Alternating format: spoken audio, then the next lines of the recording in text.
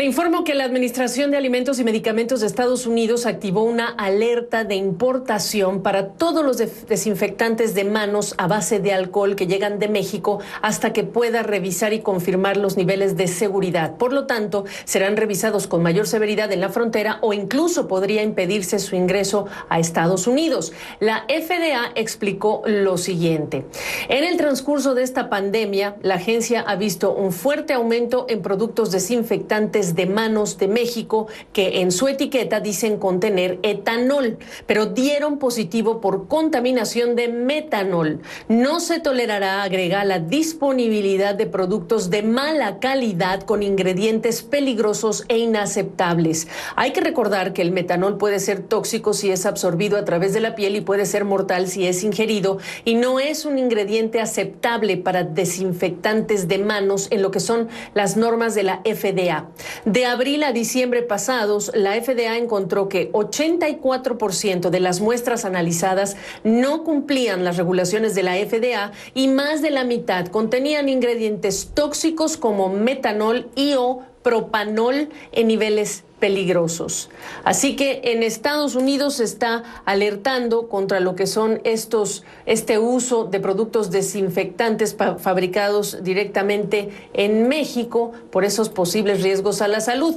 La pregunta es cuáles son las medidas adoptadas por las autoridades para autorizar su venta en México o se manejan otros parámetros o no hay riesgo.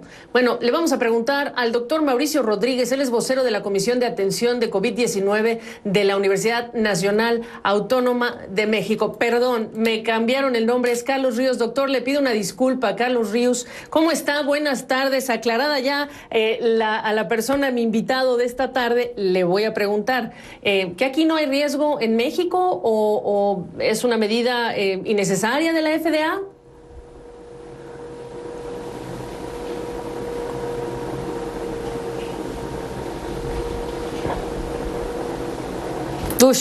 Bueno, no solamente tuvimos una confusión con el invitado, sino que también hemos perdido la señal con nuestro invitado. Eh, vamos a tratar de, incorporar. Eh, don Carlos Ríos, ¿me escucha? Ya, ya estamos. Sí, lo escucho, perfecto.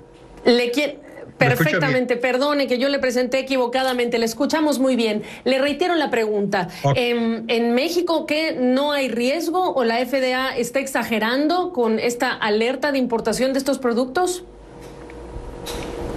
No, lo, lo que pasa es que aquí en México no existe realmente un control muy estricto acerca de la formulación de los diferentes geles que hay y desgraciadamente sí existen ciertas adulteraciones de los geles por cuestiones económicas.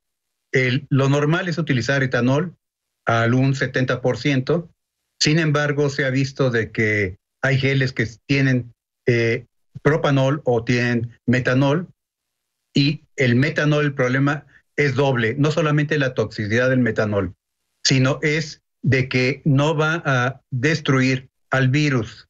El virus es una capa grasa, está envuelta en una capa grasa que necesita una combinación de el etanol es el ideal para poderlo destruir esa capa grasa. El metanol es demasiado polar, es muy parecido hacia el agua, digamos, y no va a destruir la, grasa del, del virus. En el caso del metanol, aparte que hay absorción a través de la piel, si se ingiere, este produce formaldehído y ácido fórmico.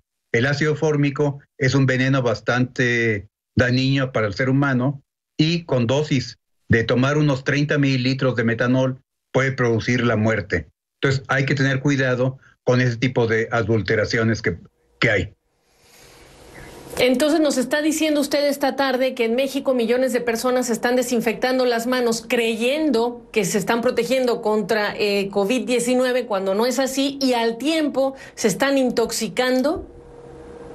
Sí, lo que pasa es que no hay un control eh, de todas las geles que se están vendiendo en el mercado y hay muchas geles tipo casero que se venden en mercados informales, las cuales tienen combinaciones de alcoholes que no sabemos cuáles pueden tener. La diferencia entre el alcohol industrial, el, metanol y el alcohol eh, de fermentación, que es el etanol, en precios es muy diferente, es muchísimo más barato el metanol. También en las bebidas alcohólicas, cuando no se tiene mucho cuidado en la destilación, pueden estar contaminadas con algo de metanol. Este proviene no por la fermentación.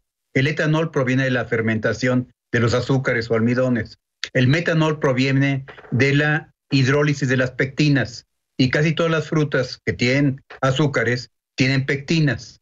Entonces, es común sacar la primera destilación de las bebidas, que es rica en metanol, y después sacar ya la bebida alcohólica que tiene el etanol, que es, eh, que es consumible. Sin embargo, debe haber gente que está utilizando la primer destilación para añadirla junto con las geles que están haciendo, aparte de meter eh, alcohol industrial, de, que es metanol, ¿sí?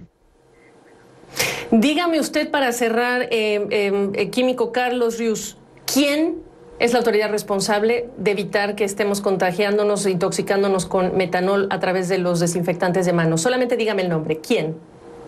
En México sería la Secretaría de Salud, porque no es, no es un medicamento que estaría a cargo de COFEPRIS. Es la Secretaría de Salud que debería tener una normatividad más estricta al respecto. Y sobre todo pensando en la cantidad de veces a donde vayamos hay desinfectante de manos, en casa hay desinfectante de manos, en todas partes hay desinfectante de manos. Gracias. Eh, es el químico Carlos Rius, académico, sí, de la UNAM. Gracias por esta explicación. Muchas gracias por la oportunidad de dejar explicar un poquito acerca del asunto.